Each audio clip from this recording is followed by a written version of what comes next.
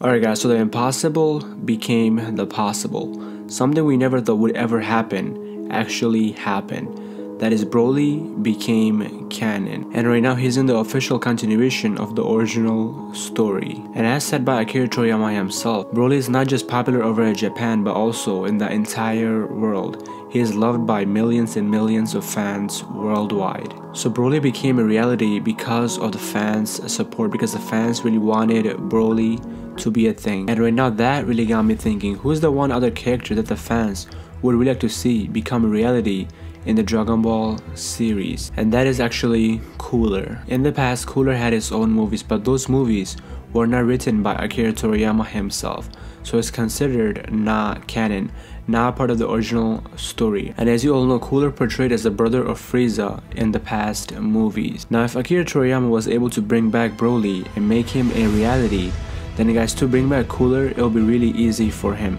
because guys Broly's past he was able to rewrite it without any problems. The new Broly's past is much much better than the old one. With this new Broly the fans can easily connect to him and also this new Broly is much different than the old one. This brand new Broly guys is more human-like. This new Broly shows actual emotion. So Toriyama could easily rewrite Cooler into the original continuation of the Dragon Ball series. Toriyama could easily connect Cooler with someone that we know, and that is Frieza. So today I'm gonna give you guys a possible story that they could do to bring Cooler into the original continuation of the Dragon Ball series. And guys, do keep in mind that this is just my story, it's nothing official, so do keep that in mind. So this story begins with Frieza finding out that Beerus' life is linked to the Supreme Kai's life. So if Supreme Kai dies, then Beerus also dies as well. So after Frieza finds out everything, then Frieza goes to visit the Supreme Kai. And as soon as Frieza arrives there, he shoots a death beam directly at the Supreme Kai. And the Elder Kai realized what was going on. He knew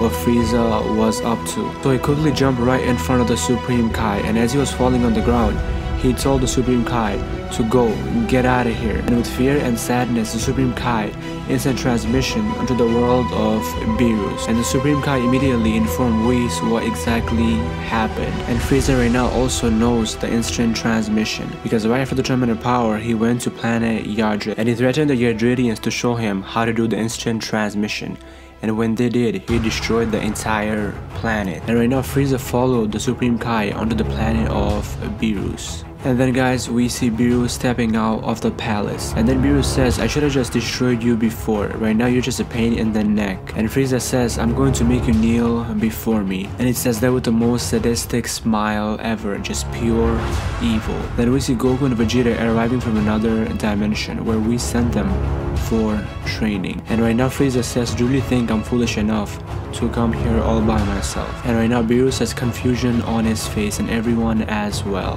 Then we see a figure stepping out of Frieza's spaceship.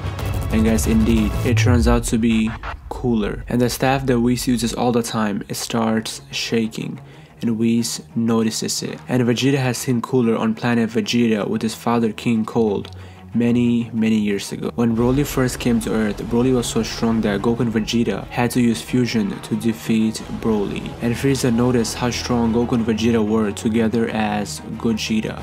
And at the end of the Dragon Ball Super Broly movie, Frieza says, this ordeal has brought forth an interesting development, which might come handy in the future. And with that right now, Frieza's plan is to take down Beerus with the help of Cooler. And as Cooler is behind Frieza, suddenly we see Frieza's eyes turning red. And then we see blood coming out of Frieza's mouth. Then we see a hand that went right through Frieza from the back. And it was Cooler who just did that. And right now Frieza, while being on the ground, is in disbelief. And Cooler says, this fusion is only a child's play. Anyways you guys, that is about it. That's all I have for you guys today. Do let me know what you guys think about this in the comment down below. And if you guys did enjoy this video, then be sure to give it a huge thumbs up. And if you guys are brand new to the channel guys, be sure to subscribe for more videos like this. Anyways guys, once again, thank you all so much for watching. I really appreciate it. And have a blessed day everyone.